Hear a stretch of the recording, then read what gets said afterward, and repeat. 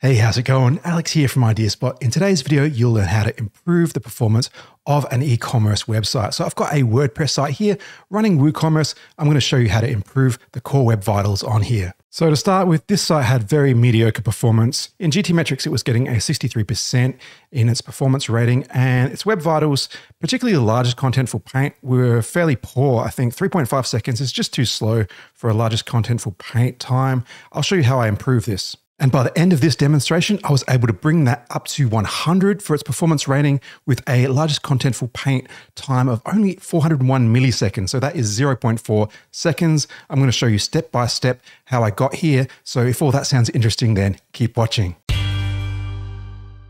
All right, there's basically three steps to this process. First, we do a hosting upgrade to improve the server performance.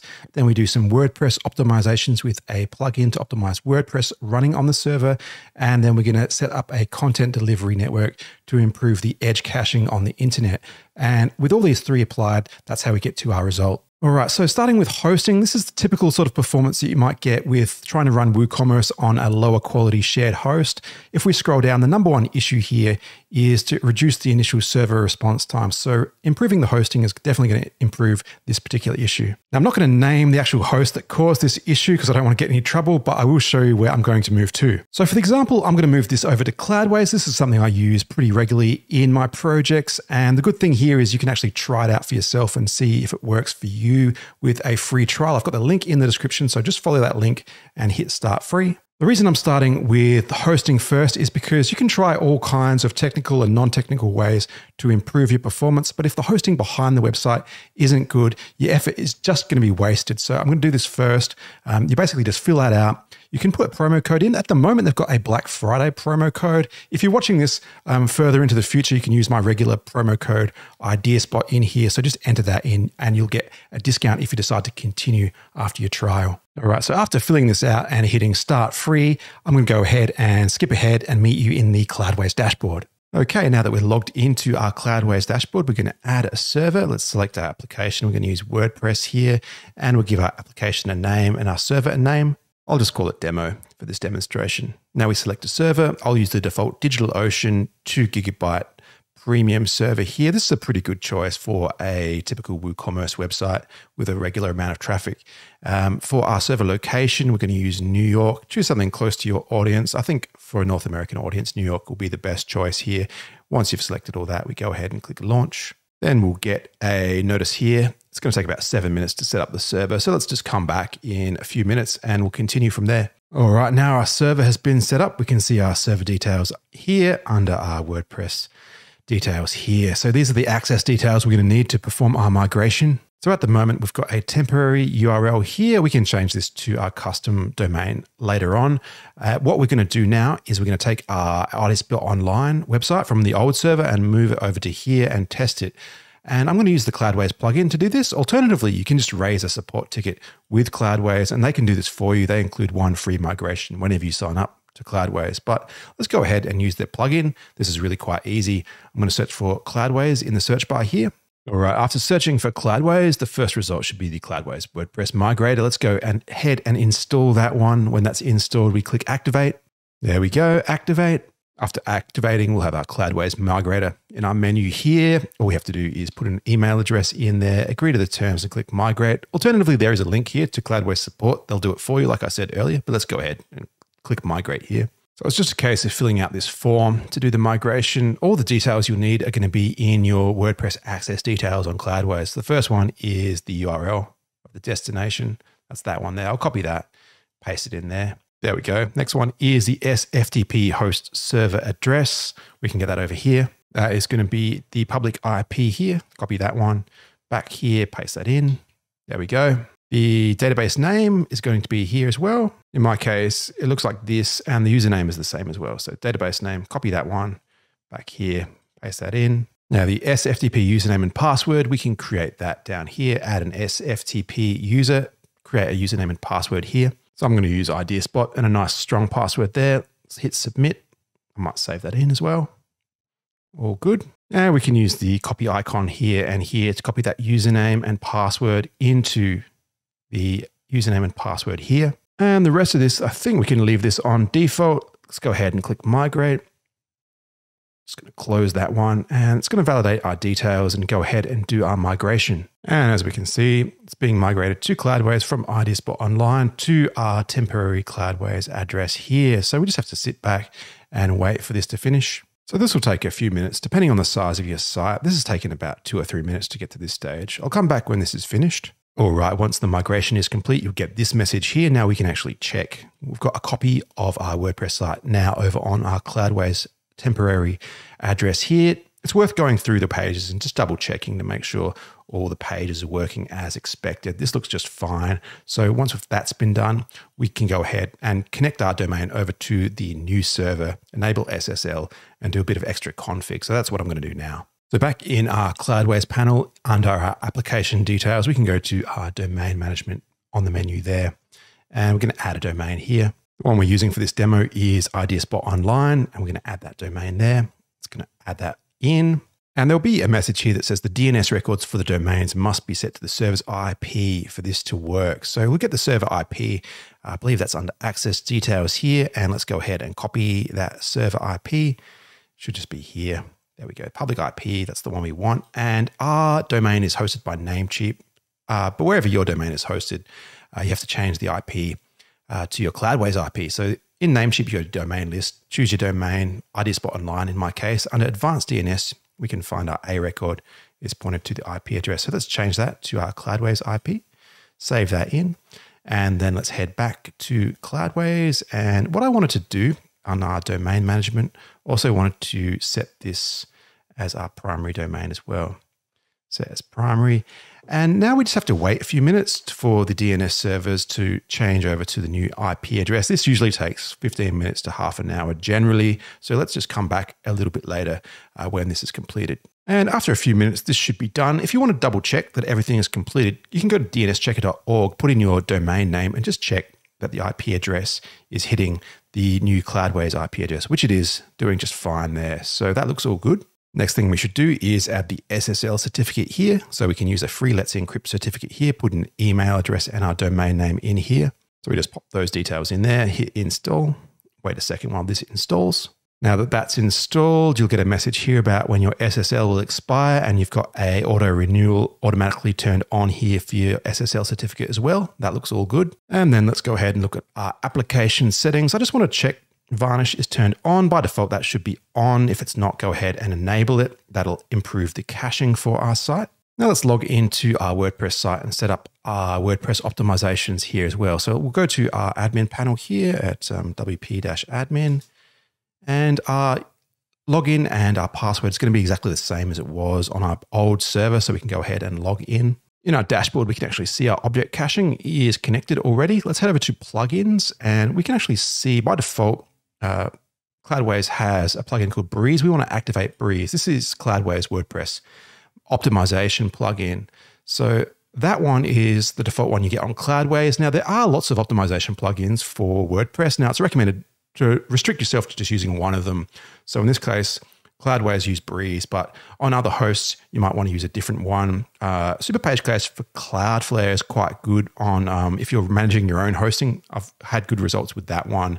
Um, W3 Total and WP Super Cache are other popular ones as well. LiteSpeed Cache on LiteSpeed Hosting is an obvious choice as well.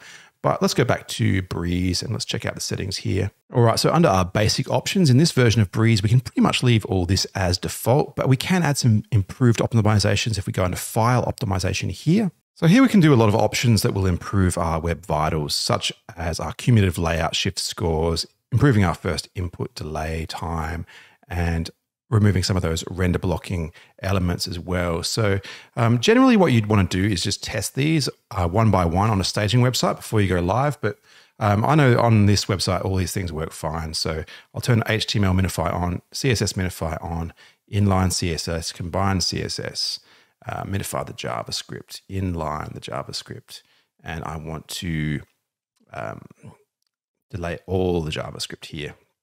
Um, there is different ways of doing this. You can actually uh, choose specific JavaScripts to move to the footer or specific JavaScripts to defer. But in my case, this website works fine if I um, just delay all JavaScript. But yeah, you need to test this, um, preferably on a staging site rather than on a live site. But um, I've tested this before, and these settings work pretty well for for this actual setup. So uh, once I've set all those, I can actually just check my website, just make sure it's all working just fine. I'll just do that now. So it all looks like it's loading fine here. Next step, probably check in an incognito window because the logged in user isn't going to be cached. So this is going to be a cached user. And we can see uh, all this looks like it's pretty good as well. So um, this is loading up fine. Let's go ahead and run some GT GTmetrix tests now that we've done our changes. So let's go ahead, IdeaSpot online, and let's analyze this again. So here we go. This is much better. We've got an A. The performance is 100, so we've optimized it very well in terms of its uh, structure.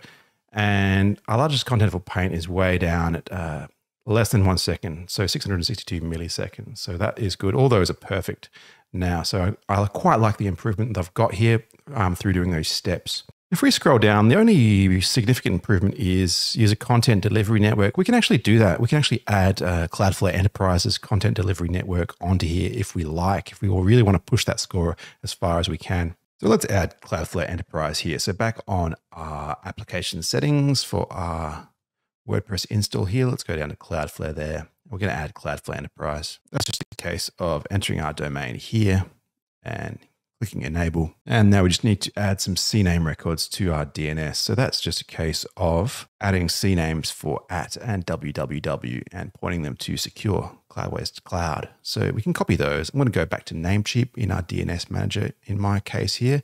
Let's remove the A record pointing to the IP address. We won't need that one anymore.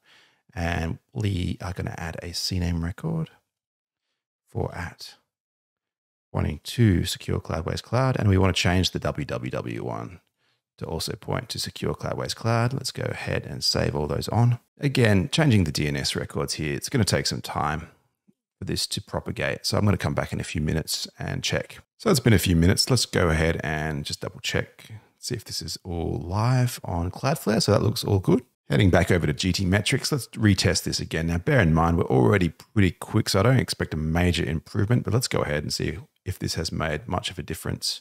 So I'm going to reanalyze this. All right, so now we're down to 401 milliseconds. So a little bit of an improvement there. The structure is now 99%, so nearly perfect. Um, all the other issues now are now low impact issues. So I'm pretty happy with this overall. We can see we've got a little bit of an improvement uh, by adding Cloudflare Enterprise there. Now, we'd notice that um, on my previous video on Cloudflare Enterprise, I'll put that up in the corner.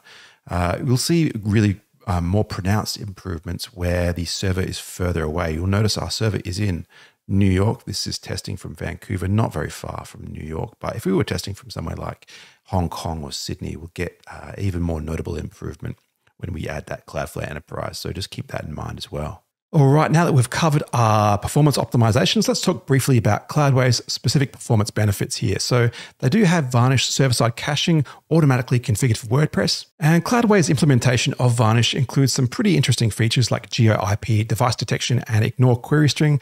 I'll tell you a little bit about what these features actually do. So GeoIP detects which country your visitor is from. This is particularly useful if you have multiple languages of your website. So if you have an English version of the site, it will detect if they're from an English-speaking country country and serve from the cache the English version of the site. If they're from an Arabic speaking country, they'll get served an Arabic version of the site from the cache. That's obviously going to save server resources and improve performance. Device detection, very similar. It detects the user's device. If they're from a mobile device, for example, they'll get served the mobile version of the site from the cache automatically. Um, ignore query string. That is for uh, like social media sites like Facebook that add a query string to the URL. Sometimes that uh, query string tends to break the caching and uh, increases the load on the server. Uh, this automatically ignores that query string and makes sure that all your visitors get high performance from your caching solution. Next up, you've got your WordPress optimizations tailored to Cloudways hosting stack using the Breeze plugin. So it's really nice to have the WordPress set up automatically configured to be optimized for your hosting. You can actually, on other hosts, you can get your own uh, WordPress optimization plugin, but then configuring it to match your own hosting specifications, that can be a trial and error, time consuming process. This is really quite simple to set up uh, once you've got a plugin that's automatically configured to match your hosting. So I quite appreciate that feature. And then we've got the content delivery network, enterprise grade content delivery network through Cloudflare. That is just um, a small additional cost, for example, $5 for one website. You get enterprise grade content delivery. Um, this is not something you get on many web hosts. So I quite appreciate that additional feature. I have covered this specific feature in previous videos. So I'll put that video up in the corner if you want to check that one out too. Okay, for our conclusions, we did an example of optimizing the speed and performance of an e commerce website, and the hosting upgrade was probably the most significant improvement factor in our example, um, improving that slow server response time did the most uh, to improve our core web vitals. Uh, WordPress optimizations and the content delivery network are also key factors to making sure you're getting top quality performance. If you want to follow the method I used in the example, there's that link in the description. You can get that free trial from Cloudways and make sure you check for those coupon codes as well in that description. If you've been thinking about trying to optimize the performance of your e commerce store or your WordPress site, that free trial is a nice way to test it out and see what improvements you get for yourself. But let me know what you think in the comments. Any questions, just leave them down below. But thanks for watching. I'll see you next time.